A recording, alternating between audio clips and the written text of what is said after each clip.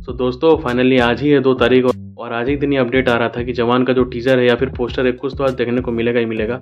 But unfortunately अभी तक red series वालों ने या फिर किसी भी प्लेटफॉर्म से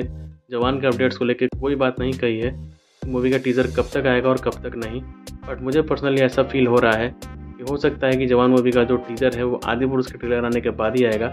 बिकॉज़ आदि पुरुष वाले भी अपना ट्रेलर इसी मंथ में रिलीज़ करने वाले हैं। और मुझे ऐसा लगता है कि जवान के मेकर्स को ये लग रहा है कि अगर हम अपना टीज़र ट्रेलर अभी लॉन्च कर देते हैं आदि पुरुष वाले भी अगर एक दो दिन बाद अपना ट्रेलर डाल देते हैं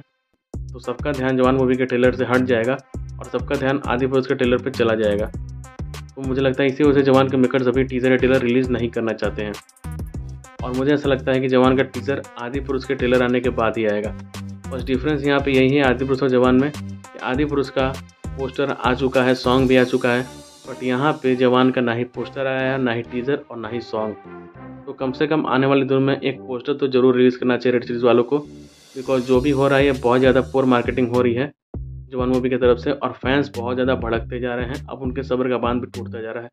तो आपकी क्या राय इस पर कम ज़रूर बताइएगा। टिल देन जय हिंद मातरम गुड बाय